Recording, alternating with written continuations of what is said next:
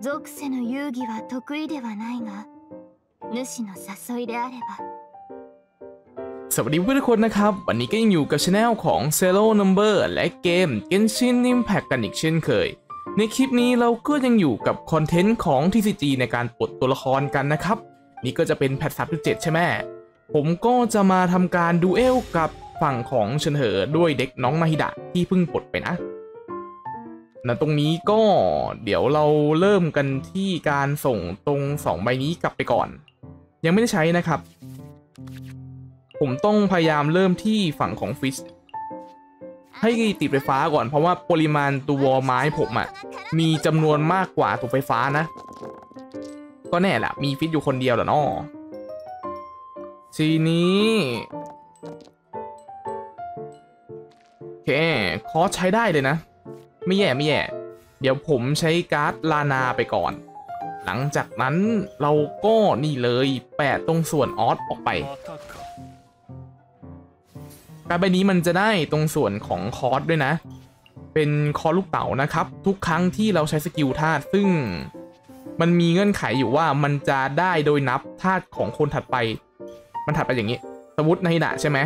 อยู่นี่เป็นคนที่ 1 มันจะได้เป็นคนที่ 2 แล้วคนที่ 2 จะได้คนที่ 3 คนที่ 3 จะได้คนที่ 1 ลักษณะวิธีการเล่นเป็นแบบนี้ นี่เดี๋ยวเราสลับตัวมานิดนึง หลังจากนั้น อ่าเขาจ่ายการ์ดนะ มีการเปลี่ยนตัวเป็นการยูนี้ติดตรงส่วนของบัฟน้ำแข็งไปแล้วฝั่งผมก็นายด่านะครับ จากการตีไปหืม โอเค ถ้ามาทรงนี้งั้นผมกดจบเทินแต่ยังงงๆอยู่ว่าทำไมเขาเปลี่ยนตัวแบบนั้น สงสัยน่าจะเป็น AI ที่กันเรื่องของฝั่งเราไปทำปฏิกิยาเขาหรือเปล่า แค่เดานะ แค่เดา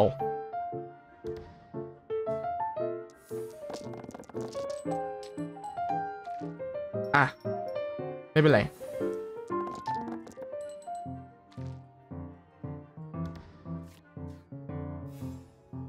นี่ก็ข้างผมนะครับ จากการจ่ายไปนี้ก่อน นี่เลย เราจ่ายไปแบบเต็มเม็ดเลยแล้วหลังจากนั้นก็กดอันนี้ไปก่อน นี่ เป็นฝั่งของสกิลแบบสแกนชืดเลยนะ ผมตั้งใจใช้อันนี้เพราะว่าเราจะได้แปะไอตัว damage เนี่ยออกไป Seed of Skandha เนี่ย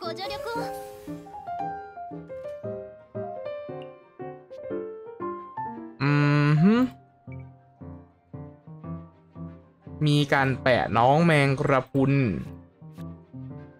งั้นก็ไม่เกรงใจและนะ ไปเลยแล้วกันโยนนี่ทิ้งซะ แล้วก็จะเลย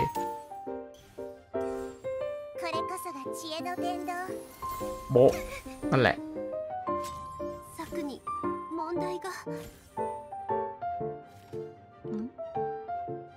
อะอะทำไมเขาพูดเอ๋อย่างนั้นน่ะ สกิลธาตุมานะฮะ นี่ของข้างผมดูจากสภาพแล้ว เราจะโดนแช่แข็งใช่ไหมงั้นจบเธอเลยเพราะดูคอร์สเขาไม่น่าจะเล่นอะไรต่อได้แล้วนะ อะ โดนกันไปหนึ่งสเต็ปก็ต้องปล่อยให้โดมแช่ไปนะ ไม่งั้นเดี๋ยวพอถึงเวลาถ้าสมมติเราเจอหนักๆเนี่ย มันจะมีปัญหาเอาได้ นี่ตัวธาตุน้ำของเขาไปแล้ว เหลือแค่ตัวธาตุน้ำแข็ง เราก็จะง่ายหน่อย ผมขอคิดก่อนดาเมจพอไหมวะอ่ะ พอ ก็ไม่มีปัญหาถ้าอย่างนั้น 考察の災いどうすれば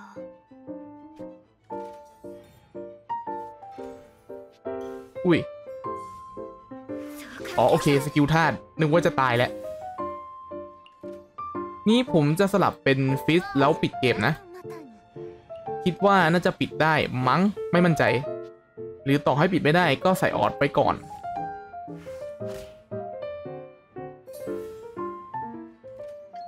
สี่ damage น่าจะได้ โอเค เราใช้การ์ดฝั่งของ Resonance เพิ่ม damage จากปฏิกิริยาธาตุไม้ก่อน แล้วก็ทิ้งการ์ดหลังจากนั้นเรียกออสจบแล้วเรียครับรวดเร็ว ได้นะเฉินแล้วนะ นี่นะครับ อะ เรียบร้อยเหมือนเดิม เดี๋ยวผมทิ้งเด็กลิสต์ไว้ให้เผื่อใครเอาไปลองเล่นนะ